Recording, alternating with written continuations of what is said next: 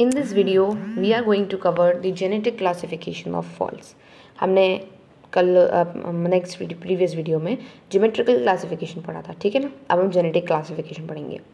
Geometrical से genetic classification ज़्यादा important है मैं आपको पहले ही बता देती हूँ। तो उसको अच्छी तरीके से पढ़िएगा। नॉर्मल फॉल्ट सबसे पहला आपका क्या आता है इसमें? Normal fault it is that fault in which the hanging walls are apparently moved down with respect to the fall fall wall It is created under the stress st system in which the maximum principal ex uh, stress axis is vertical with the other two are horizontal.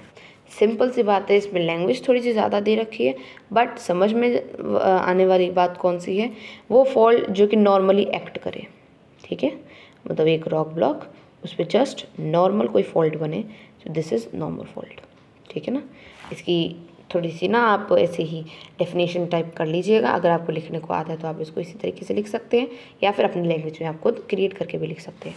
Normal fault का मतलब यही है कि वो fault जो कि exactly normal हो to the fault surface या फिर कह सकते हो आप रॉक सरफेस पे।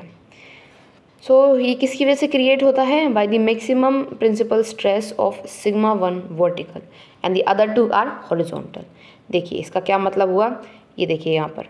Sigma one sigma two sigma two और सिग्मा थ्री। यहाँ पर फॉल्ट आपका किस तरीके से एक्ट कर रहा है? जैसा कि मैंने बताया, इस तरीके से।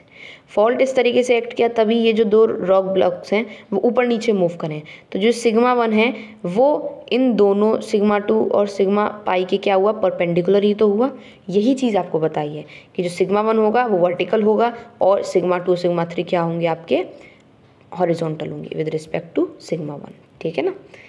दूसरी चीज़ क्या कही है इसमें? These are also known as a gravity fault क्यों? Because of the force of gravity fault act करता है. Because the gravity of the earth plays a major role in the formation of this fault तो ये था आपका normal fault आगे बढ़ते हैं हम रिवर्स फॉल्ट रिवर्स फॉल्ट में क्या होता है? इसमें जो हैंगिंग वॉल होती है अपेरेंटली ऊपर की तरफ़ मूव करती है.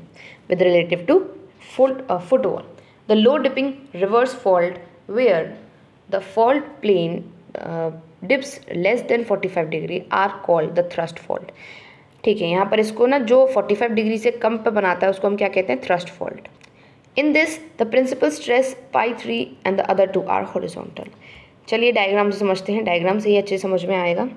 यहाँ पर देखिए रिवर्स फॉल्ट कुछ इस तरीके से दिख रहा है। आपको थोड़ा स्लेंटिंग मोशन दिखा रहा है यहाँ पर। इस तरीके से राइट तो इसमें जो पाई थ्री होता है ना, वो आपका वर्टिक वो आपका क्या होता है? वर्टिकल में जा रहा है और बाकी के जो हैं वो हॉरिजॉन्टल में एक्ट कर रहे हैं।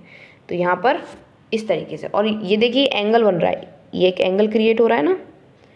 ये एंगल कुछ इस तरीके का एंगल होगा। दिस इज़ 45 डिग्री अब वही एंगल जो 45 डिग्री से भी कम होता है, उसको थ्रस्ट फॉल्ट कहेंगे। और जो 45 डिग्री का होगा, उसको आप क्या कहोगे? रिवर्स फॉल्ट जो 45 डिग्री एंगल बनाएगा। ठीक है ना? रिवर्स फॉल्ट हो गया। अब आप आगे पढ़ते हैं। Strike slip fault strike slip fault में क्या होता है? When the two rock blocks do not move up and down rather it displaces horizontally normal fault और आपके रिवर्स फॉल्ट में अप एंड डाउन मूवमेंट हो रहा था।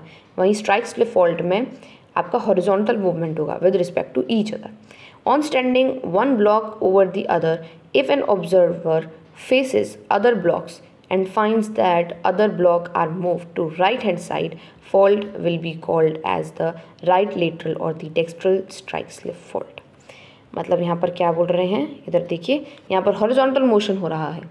क्या हो रहा है? एक हॉरिजॉन्टल मोशन हो रहा है। इस तरफ़ से स्ट्रेस लग रहा है, इसीलिए इस तरफ़ फॉल्ट क्रिएट हुआ।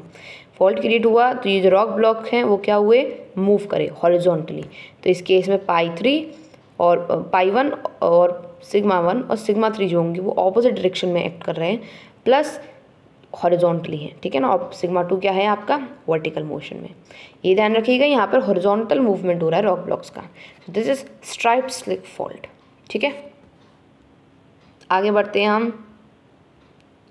स्ट्राइक स्लिप यहाँ पर स्ट्राइक स्लिप फॉल्ट के दो एग्ज़ाम्पल आपको क्यों दे रखे हैं? क्योंकि आपको लास्ट में ये कहा गया था on standing one block over the another अगर ऑब्जर्वर आपका ये देखता है कि राइट हैंड साइड पे अगर कोई ब्लॉक शिफ्ट हुआ है तो उसको आप राइट लेटरल या फिर डेक्स्ट्रल स्ट्राइक स्लिप कहोगे। इफ़ वो लेफ़्ट हैंड साइड पे अगर कोई ब्लॉक शिफ्ट हुआ है तो उसको आप सिनिस्ट्रल या फिर लेफ़्ट लेटरल, ठीक है ना?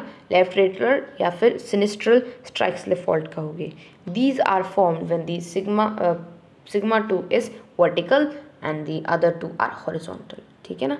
तो यहाँ पर देखिए किस तरफ़ शिफ्ट हुआ है। यहाँ पर आपका इस तरफ़ शिफ्ट हुआ है। This is right hand side पर शिफ्ट हुआ है। तो ये आपका आपका क्या कहला जाएगा?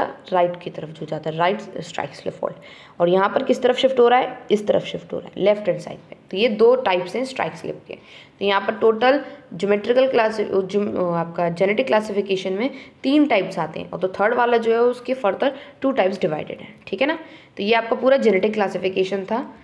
इसका अगर आपको एग्ज़ाम में आता है तो I suggest you to draw this diagram for the better understanding ठीक है ना? अच्छे से ड्रॉ करिएगा डायग्राम को। क्या पता आपकी टीचर को या जो आपकी मार्क्स आपके कॉपीज़ चेक करेंगे, अगर उनको आपकी लैंग्वेज समझ नहीं आएगी तो एटलीस्ट वो आपका डायग्राम देख के ये तो पता लगाएँगे कि आपको इसके बारे में नॉलेज है थोड़ी सी। इसीलिए डायग्राम आप ज़रूर बनाइएगा। आज की वीडियो में हम इतना ही रखेंगे। नेक्स्ट वीडियो में हम कवर करेंगे criterias for recognition of faults